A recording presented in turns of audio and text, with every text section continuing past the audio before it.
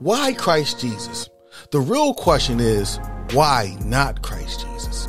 If most people is honest with themselves after scrolling through the life of Christ like y'all do other folk lives on social media, you will see that Christ's life should be the template for all humanity's life.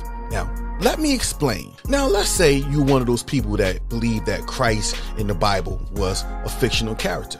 Okay, let's say you believe that, right? At minimum, if perhaps you took the time out of your life to study the life of Christ and you're honest with yourself, you will see that the life Christ projected is one we should model our life after.